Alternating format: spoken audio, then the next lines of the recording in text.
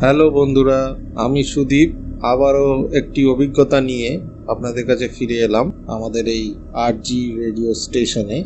আজকের যে অভিজ্ঞতাটা, সেটা কলকাতার থেকে অদূরেই সুন্দরবনের অভিজ্ঞতা। বন্ধুরা, আপনারা হয়তো জানেন যে সুন্দরবন আমাদের সবার কাছেই ফেমাস রয়্যাল বেঙ্গল টাইগারের জন্য এবং কুমিরের জন্য। মানে সুন্দরবনে একটি প্রবাদ আছে, জলে কুমির, ডাঙায় বাঘ। মানে সব দিকেই বিপদ। কিন্তু আজকে যে আমি যে ঘটনাটা বলব, সেটা না তো বাঘের, না তো কুমিরের। একটা অন্য কিছুর ঘটনা এটা। ঘটনাটি আমার সুন্দরবন নিবাসী রাজীব মণ্ডল বলে একটি ছেলের কাছে শোনা। তার নামটা আমি এখানে নিচ্ছি। তার কারণ এখানে সে যখন আমাকে ঘটনাটি বলেছিল, তখন কিন্তু সে আমাকে বারণ করেনি যে নাম নিতে বা কোনো, সেরকম কোনো রেস্ট্রিকশন তার নেই। তার বাড়ি ছিল বাসন্তীর কাছাকাছি। সুন্দরবনে বাসন্তী বলে একটি জায়গা আছে, তার কাছাকাছি তার বাড়ি ছিল। কিন্তু কোন জায়গাটা বাড়ি এক্সাক্ট লোকেশনটা আমি বলছি না এখানে। তার বাড়ি, তবুও আপনারা জেনে রাখুন যে বাসন্তীর কাছাকাছি এমন একটি জায়গা যেখানে কিন্তু মাঝে মধ্যেই তাদের গ্রামে বাঘের আক্রমণ হতো। বাঘ নদী পেরিয়ে গ্রামে চলে আসতো শিকারের খোঁজে। তো ঘটনাটি বাঘের নয়, রাজীবের এখন বয়স হবে হয়তো তিরিশ বছর। ঘটনাটি ঘটে তার দাদুর আমলে মানে তারা ওই জায়গার আদি নিবাসী এবং সাত পুরুষ ধরে তাদের ওখানেই বাস। যখন তার দাদু জোয়ান ছিল তারই মতো, তখন সেই ঘটনাটি ঘটে এবং ঘটনাটি বলতে গিয়ে আজও তার শরীরে শিহরণ জেগে ওঠে। ঘটনাটি ঘটেছিল সেরকম। ভিউয়ার্স, আমরা আমি একটা কথা বলতে চাই যে আপনারা হয়তো জানেন যে সুন্দরবনে যতটা ভাগ পশ্চিমবঙ্গে আছে, তার থেকে বেশি ভাগ কিন্তু বাংলাদেশে আছে।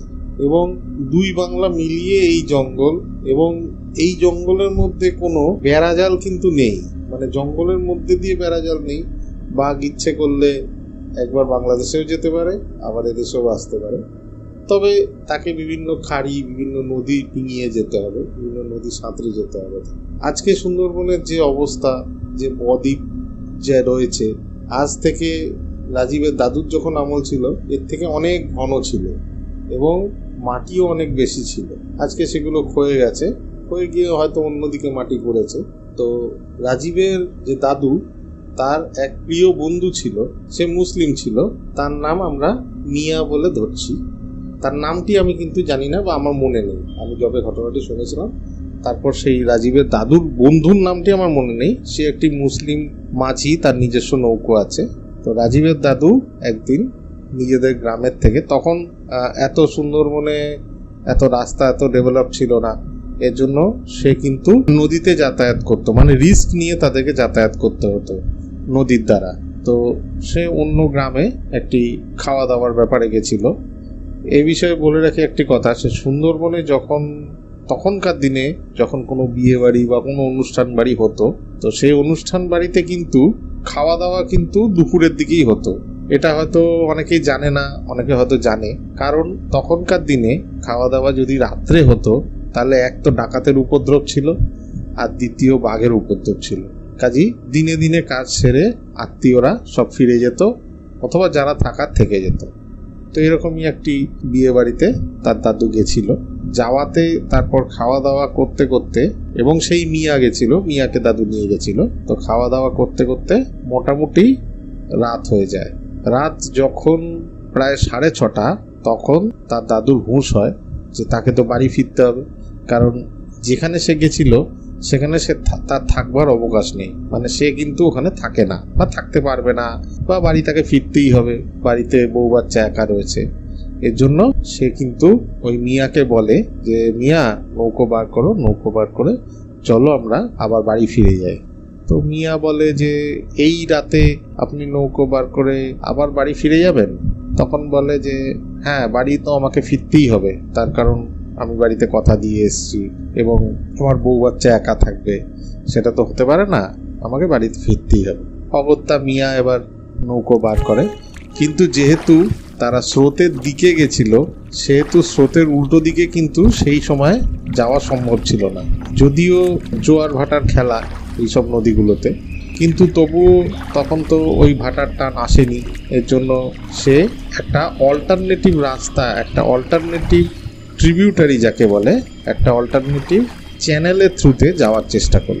যে চ্যানেলে এতটা খরস্রোতা নয়, যে চ্যানেল একদম স্টিল টাইপের জল, সেই চ্যানেলের থ্রুতে যাওয়ার চেষ্টা করল। কিছু দূর যাওয়ার পর রাত্রি যখন আটটা মতো বাজে তখন কিন্তু তার সেই নৌকো হঠাৎ করে থমকে দাঁড়াল। থমকে দাঁড়াল বলাটা ভুল, সেই মিয়াই নৌকোটিকে দাঁড় করিয়ে দিল এবং দাঁড় করিয়ে দেওয়ার পর কিন্তু সে আর নৌকোটি এগোতে চাইল না। তার কারণ রাজীবের দাদু এবং সেই মিয়া শুনতে পেল যে জঙ্গলের ভেতর থেকে তাদের কানে আসছে আর্তনাদ। বন্ধুগণ, সেই আর্তনাদ আর কিছুই না, একটা পুরনো ইতিহাস আছে সেই জায়গার। সেই ইতিহাসটি আমি একটু পরে বলছি আপনাদের। তখন রাজীবের দাদু মিয়াকে বলল যে, মিয়া, এটা তুমি কোন দিক দিয়ে নিয়ে এলে আমাকে? বলল, কেন দাদাবাবু? আমি তো যে দিকটা শান্ত, সেদিক দিয়েই নিয়ে এসেছি। বলে, তুমি বয়স্ক লোক, তুমি কি জানো না যে এই দিকেই তো সেই জায়গা?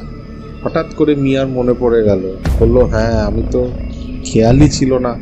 রাতের দিকে তো এদিকে আসা বারণ। তখন ওর দাদু বলল যে ঠিক আছে। নদী, নৌকো যখন ঢুকিয়েই দিয়েছ, আর কি করা যাবে? তুমি নোঙর ফেলে অপেক্ষা করো সকাল হওয়ার। আমাদের তো আর কোনো উপায় নেই। আমাদের সারা রাত এখানে এখন বসে থাকতে হবে। এই রাতে কিন্তু একদম এই নদী দিয়ে এগোবে না। মানে এই খাল দিয়ে তুমি আর এগোবে না। মিয়া অগত্যা নোঙর ফেলল। নোঙর ফেলে অপেক্ষা করতে শুরু করল। রাত যখন প্রায় সাড়ে এগারোটা, রাজীবের দাদু যেহেতু ওখানকার একজন গণ্যমান্য ব্যক্তি ছিল এবং ওদের সেই ব্যবসা আছে বা কিছু ছিল তখনকার দিনে, চালের ব্যবসা বা কিছু। তো তার কাছে সব রকম সুবিধাই ছিল তখনকার দিনে যেগুলো গ্রামের লোকের থাকতো। তো ওনার কাছে একটি বিদেশি ঘড়ি ছিল।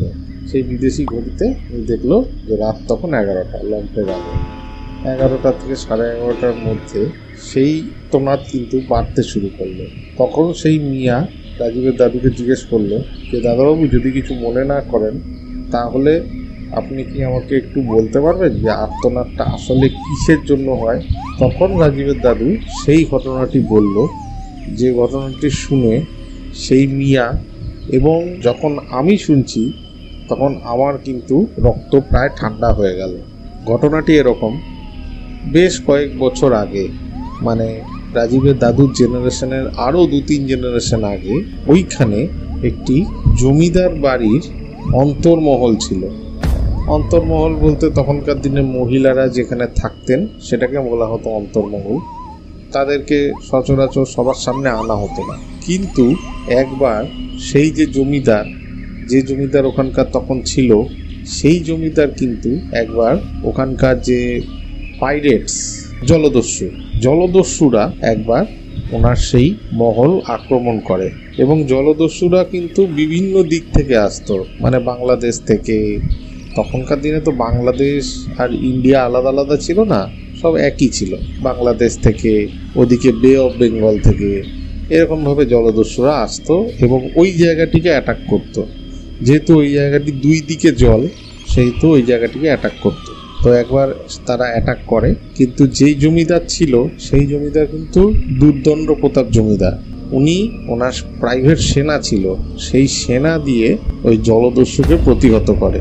প্রতিহত করে তাদেরকে একদম মানে হাত পা কেটে বাড়ি পাঠিয়ে দেয়। তাদের সৈন্য একদম শেষ করে বাড়ি পাঠিয়ে দেয়। অনেক কষ্টে জলদস্যুরা পালিয়ে যায়। পালিয়ে যাওয়ার পর, তারপর এক মাসের মধ্যে তারা সাংঘাতিকভাবে আবার চলে আসে আক্রমণ করতে।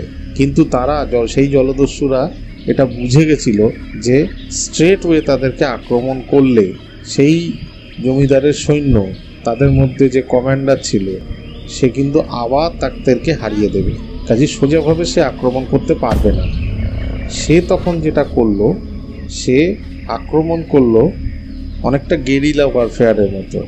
মানে আস্তে আস্তে আস্তে আস্তে ঘাঁটি গেড়ে বসে বসে বসে বসে সে কিন্তু এগিয়ে গেল ওই জমিদারের দুর্গের দিকে।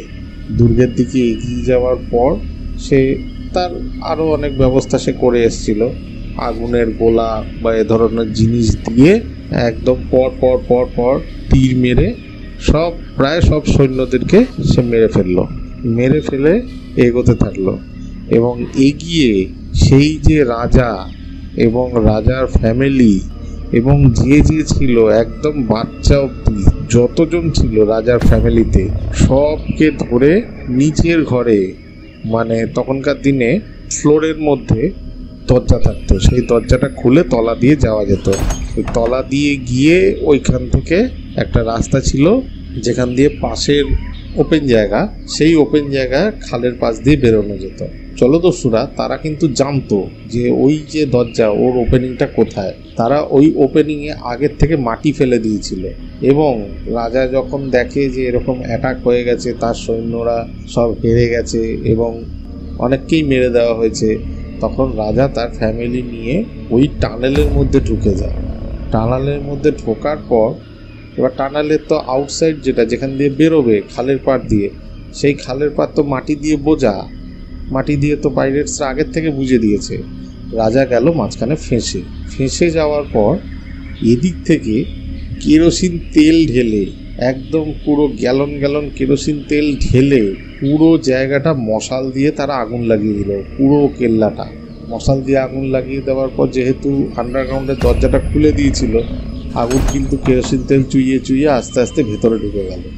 ঢুকে গিয়ে ওই সুড়ঙ্গের মধ্যেই রাজা এবং তার যতজন অনুগামী বা ফ্যামিলি মেম্বার রানী, রানীর ছেলে, তার বউ, নাতনি, নাতি সব একসঙ্গে কিন্তু পুড়ে মারা যায়। তো সুরা তো চলে গেল, লুটপাট করে যা পেল মহল থেকে নিয়ে চলে গেল। তারপর কোনোদিন দস্যুরা কিন্তু আসেনি এবং সেই বাড়ি পোড়াই রয়ে গেল। সেই বাড়ি আর তখন কেউ ভাঙেও নি এবং সেই রাজ, রাজবাড়ি পোড়াই রয়ে গেল, সেই গ্রাম সবাই ছেড়ে চলে গেছিল।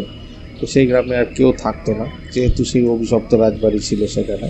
তারপর থেকে যখনই রাত্রে কেউ ওখান দিয়ে যায়, আজও সেখানে শুনতে পায় সেই আর্তনাদ, সেই বাঁচাও বাঁচাও বলে শব্দ। এবং সেই বাঁচাও যে করুণ আওয়াজ, সেই আওয়াজ ধরে যদি কেউ যায় সেখানে, সে কিন্তু আর জ্যান্ত ফিরে আসতে পারে না। সেই আওয়াজই তারা তখন বসে বসে শুনছিল।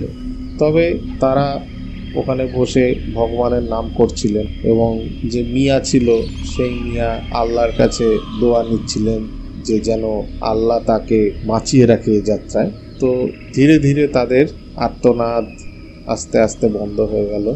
ভোরের আলো ফুটলো। তারা কিছু দেখতে পেলেন না বটে, কিন্তু শুনে তাদের যা অভিজ্ঞতা হলো, তাতে ওই যে নালা, ওই যে নালাটা, ওই নালাটার মধ্যে দিয়ে তারা আর কিন্তু কোনোদিন গেলেন না। সম্ভবত সেই জায়গা খুঁড়লে হয়তো তাদের লাশও পাওয়া যেত। কিন্তু তখনকার দিনে কেউ সেটা পড়েও নি বা সেটা গুরুত্বও দিতে পারেনি। যেহেতু অভিশপ্ত রাজমহল ছিল, সেহেতু কেউ যায়ও নি সেখানে। গিয়ে সেটাকে খুঁড়ে যে বার করবে, তাদের লাশ, তাদের কঙ্কাল, সব কিন্তু ওখানেই রয়ে গেল। এবং যে অবস্থায় যে ছিল, সে অবস্থায় সে মরে গেল। হয়তো কেউ বা বেঁচেও গেছিল, কিন্তু যা হয়, এদিকেও দরজা বন্ধ, ওদিকেও মাটি দিয়ে বোঝাই করা। সেজন্য সে ওই টানেল থেকে আর বেরোতেই কোনোদিন পারেনি। সেখানেই সে আর্তনাদ করতে করতে মারা যায়। তো বন্ধুরা, এটাই ছিল আজকের কাহিনী এবং ঘটনাটি ঘটে মোটামুটি উনিশশো কুড়ি সালের কাছাকাছি। রাজীবের দাদুর বাবা এই ঘটনাটির সাক্ষী ছিলেন এবং তিনি রাজীবের বাবাকে বলে গেছিলেন, সেখান থেকেই রাজীব জানতে পারে এবং আমাকে বলে। রাজীব, তুমি যদি ঘটনাটি শুনে থাকো, তাহলে নিশ্চয়ই রিলেট করতে পারবে। আমার নাম দেখলেই তুমি রিলেট করতে পারবে যে তোমারই ঘটনা আজকে বললাম আমি। এত বছর পর আমি তোমার থেকে শুনেছিলাম, আজ থেকে প্রায় দশ বছর আগে সেই ঘটনা যতটা মনে পড়ল আমি বললাম। ঘটনাটি এরকমই ছিল এবং সেই অভিশপ্ত জায়গায় সম্ভবত আজও গেলে রাত্রিবেলা সেরকমই হয়। সেই ঘটনার পর সেই জায়গা দিয়ে কেউ আর যায় না এবং সেই অভিশপ্ত রাজবাড়ির সেই যে ছোট আইল্যান্ডটি সেখানেও সেরকম কেউ যায় না। হয়তো বাঘের উপদ্রব আছে সেখানে, কিন্তু বাঘের থেকেও আমার মনে হয় অপদেবতা উপদ্রব আরও বেশি। যাই হোক, শুনতে থাকবেন আমাদের এই চ্যানেল, আর পারলে সাবস্ক্রাইব করে দেবেন। নমস্কার।